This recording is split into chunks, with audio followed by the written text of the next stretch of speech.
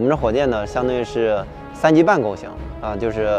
新级是串联了三级这个固体发动机，周围呢捆绑了四个固体助推器。那我们通过现有的成熟动力模块，哎，把它组合到一块儿，这样呢实现这个运载能力能达到四吨。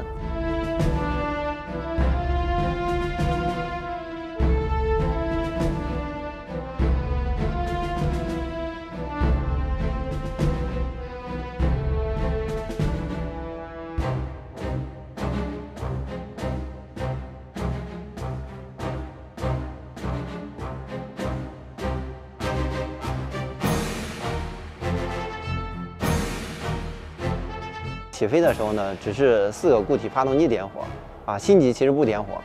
啊，然后等到助推呢快要燃烧结束的时候，哎，辛级再接力，啊，这样呢主要是为了克服这个四个固体助推发动机，呃，燃烧偏差，来保证舰体的姿态稳定。